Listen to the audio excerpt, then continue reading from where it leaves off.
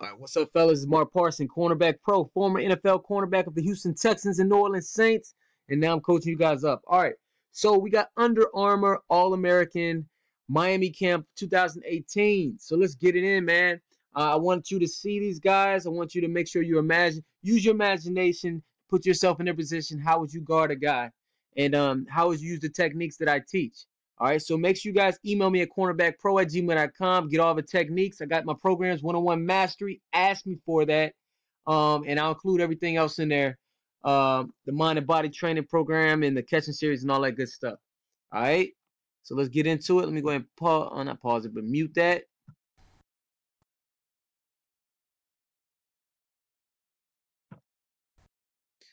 All right, let me see. Let me see. Man, that okay, so look. I want to show you something. Let's say you're the first guy up. I wouldn't use a passive technique, especially when he's on the ball that close, okay? This guy looks like he got some nice long arms. You got nice long arms, man. He's on the ball. Man, do a strike and get back to balance, man. Make them fear you up front. And then on the second rep, let's say they see you, they're like, oh, okay, he's gonna be a little aggressive. He's gonna do strike and get back to balance. They're not gonna call it that, but they said they going he's gonna be aggressive. And then that's when you soft shoe. I wouldn't go out there soft shooting, okay? So let's watch what let's how let's see how he guards my man Solomon. He does stay square. Okay, I like it. I like it. Let's see something. I want to see. I I, I want to see if he takes too many steps back. Yeah. So look, one thing I will say about Solomon, he does stay very square. He shuffles, you know, just be mindful of this. You don't want, and I, I wouldn't even say that was a backpedal. I would just say he went too far back. Man, take about two to three steps, then get get stout in there. Meaning, don't move back anymore. Make him have to go through you. Mirror him. You know, you're inching back using the soft shoe technique, and then get your hands on him, strike him. Don't want to get into the habit of backpedaling because I will say this: it's extremely hard guarding a guy. At, you know, you get to five yards. Extremely hard guarding a really good receiver. Okay, and I want to get you guys prepared to go against really good receivers. You know, um, imagine guarding Ocho Cinco. I don't know if y'all watch him, but Ocho Cinco was a beast to guard. You're going against guys like that, you know, it's gonna be a lot harder. So don't go back that far, okay? But uh, I like how you stay square and you got the ball up. Good job, boy. All right, so you know what I'm gonna say, okay? One thing that I'm gonna say is this. That's what we call no man's land. All right. So look,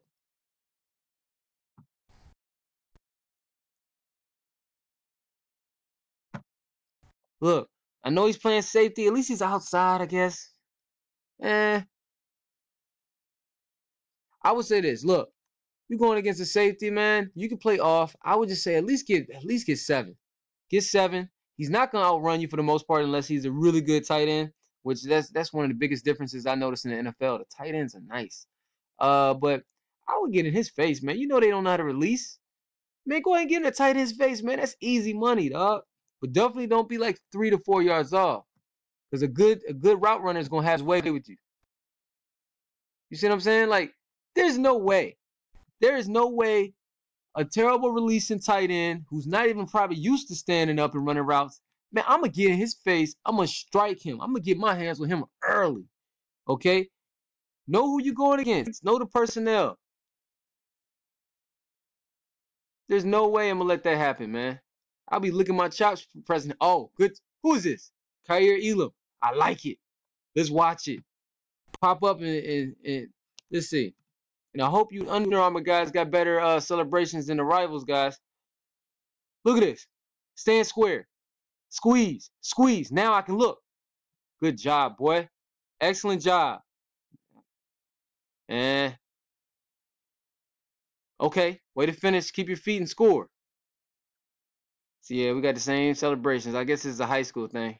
Either I'm gonna spin the ball or I'm gonna do the no, incomplete pass. Good job. Way to get the ball out. Don't look back too early. Way to get the ball out.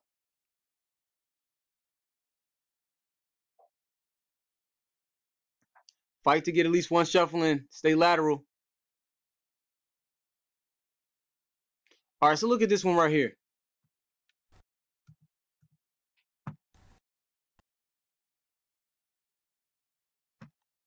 All right, so if we're gonna start outside uh, leverage, which he looks at, um, Stanley does a good job of starting outside.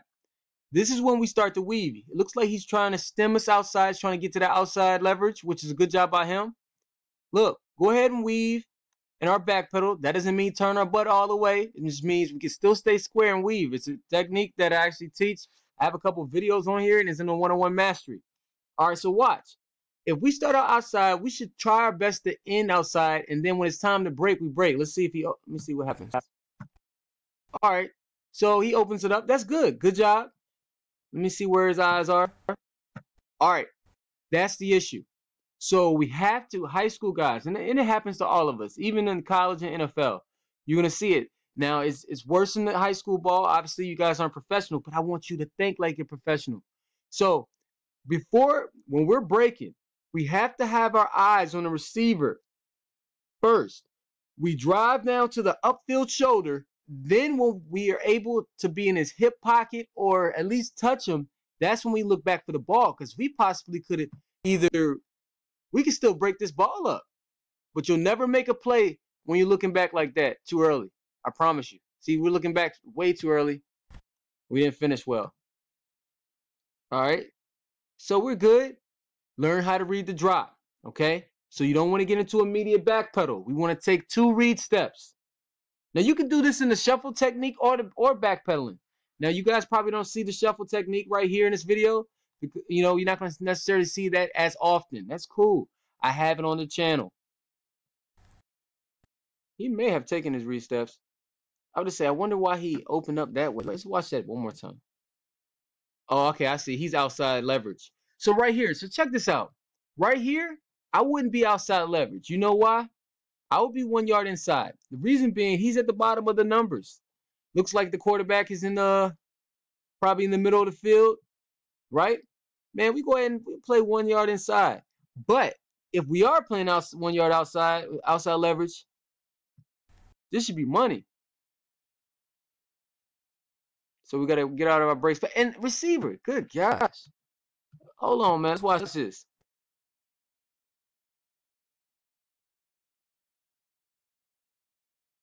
Yo, receiver, turn up field and score, man. Come on now. Eyes too high. I can already tell.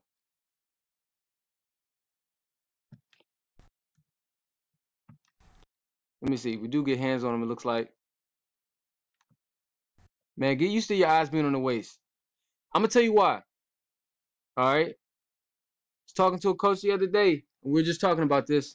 So, like, the thing about, and coach, if you're listening, it's better for me to talk because sometimes in the email, you know, it's hard to, it's a lot to type.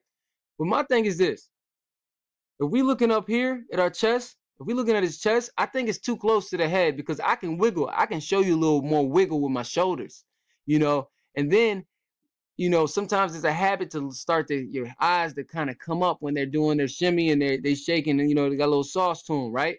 So when our eyes just happen to go up just a little bit, we looking at that head, we're got on a really good receiver or a guy with a little sauce, right? So it's better to have your your eyes on the waist. So if you do kind of look up, you still at least right here, you know.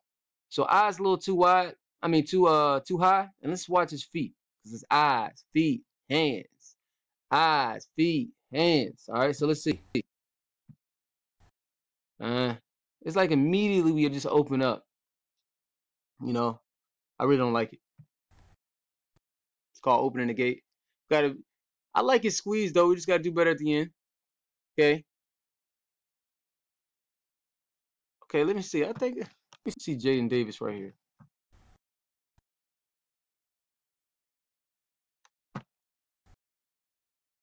You know what? I would say he does a he does a decent job staying square for a quick second. Got a little shuffle in. I feel like, but here's the thing: these guys who aren't, you're not going against the NFL guy quite yet. You know what I mean? So I feel like he's they're not really giving y'all no releases, man. They're not giving you that Jacoby Jones, Steve Smith type releases. So I feel like y'all. That's why I want to teach y'all how to really play press man. Because y'all should be y'all should be killing these high school receivers. You know, but he does a decent job, I say, but he still opens the gate a little bit too more. A lot of you guys doing that. And look, receiver, score. catch the ball and sprint. You know, I think we doing too much looking at the DB like, oh, I caught on you. Bruh, scored a touchdown. It looks so much better for the, the college scouts. Remember the goal of the day when you go to these camps. Man, your job is to look like a we'll talk about this. Your job is to look like an elite athlete who's smart and wants to win. That ain't gonna win games. You just catch the ball. Oh yeah, I caught on you, man. Ah, look at me. Man, catch the ball and score, man. Y'all need to watch Jerry Rice. Yo, look up Jerry Rice clips. All the coaches and parents would be like, you know what? This dude is telling the truth. Man, he played every single practice like it was a game. That's how like the like the Super Bowl actually. Score. And then DB chase him down. All right, so look. All right, so with this motor, I'm gonna tell you something, receivers. If you're and you're watching this, listen up. All my DBs, y'all should be playing receiver too. When you're doing your motoring, when you're motoring, you should be moving forward with your motor. Okay? Everything you should do, you should be moving violently and forward. So one thing I noticed always about Andre Johnson, Andre Johnson played some amazing ball for you young guys, man, for years. Everything he did, man, he was moving forward. Now you may get square, you may have that release where you get square, and then you may go, you know, then you may go. Um, but we don't really like that. When you motoring, you coming forward at us, it doesn't feel good for us. But if you just stand in one spot, man, really, this guy right here, Hill, he could have just really, he could have chose a technique even in soft shoe, you take a couple, you maybe take one or two steps back, and then we in square, we stand right here. Where he messes up is he starts to back up and then he just opens up. There's no reason why we should open up right here, Hill. Let's watch it again. Let's watch it again. I want y'all to see, man. He not he not he not coming at us enough for that. See what I'm saying? He's not coming forward in his motoring. We don't feel any pressure. So look, stay in there, man. Do one of the techniques that I teach in the one-on-one mastery, man. Buzz your feet. You know, you can buzz your feet. You could do a soft shoe, but stay. You you take one step and you see he ain't going anywhere. Man, look, stay in there and get ready to uh, strike or shuffle. Um, and stay lateral. You know, right here, man. Out, you long arm guys, man. Master strike and get back to balance. I promise you. If you master that, that could be your bread and butter. And he, you don't even have to have long arms. Like I'm not a long arm guy. You know, I'm five nine.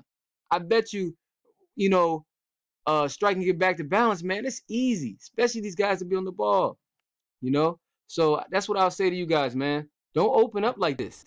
You open up like this, you're giving him, you're giving him the advantage. And then look, score. I should see a burst from both of you guys.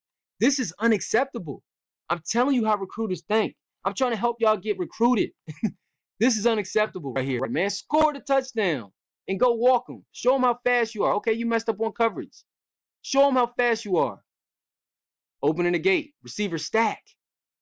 Good, good catch, but receiver stack them, man.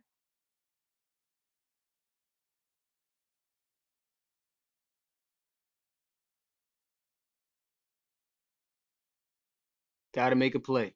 Got to squeeze him. Keep squeezing him all the way out of bounds. There you go. Make a play. Ah, uh, be careful turning fully around like that.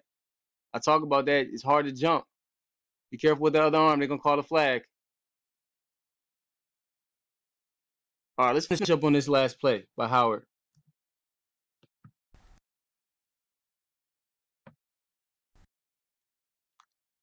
Eh, I don't like it. Let's see one more. There you go. Ah, man. There's no reason to open up. Look, he had you staying square. Okay, he ain't going nowhere. Stay in there. He not doing nothing, man. Stay in there. You got a balance right there. If you want, okay, boom. He's not going nowhere. Keep your eyes low. I can tell you how he got high too. You gotta create the habit of keeping your eyes on his on his waist. See right here. He didn't even give us nothing really. So we got to practice this, man. This is something we really got to get good. Okay, that's decent right here. I like it, Martin. Make a play. Good job, boy. Excellent job. All right, so we're going to keep going at it, man. I want to get you guys elite, man. Make sure you guys email me at cornerbackpro at gmail.com. Ask me for the one-on-one mastery so we can get you guys ready to play. Oh, nice. I like it. Be careful. Don't hey, keep them up. All right, guys.